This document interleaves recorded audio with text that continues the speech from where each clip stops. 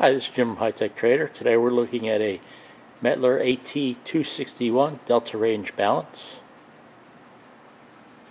Take a look at it. Let's zero it out. See if it works. It's got a max of, uh, I believe, 250 grams.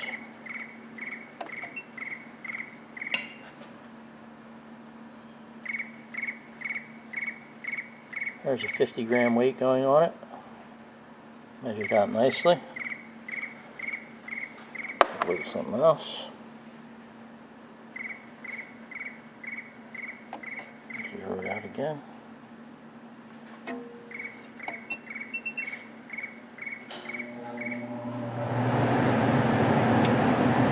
Put a 20 gram on there.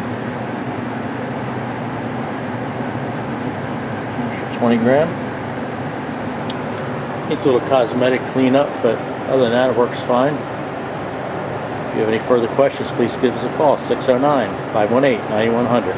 Thanks again from High Tech Trader.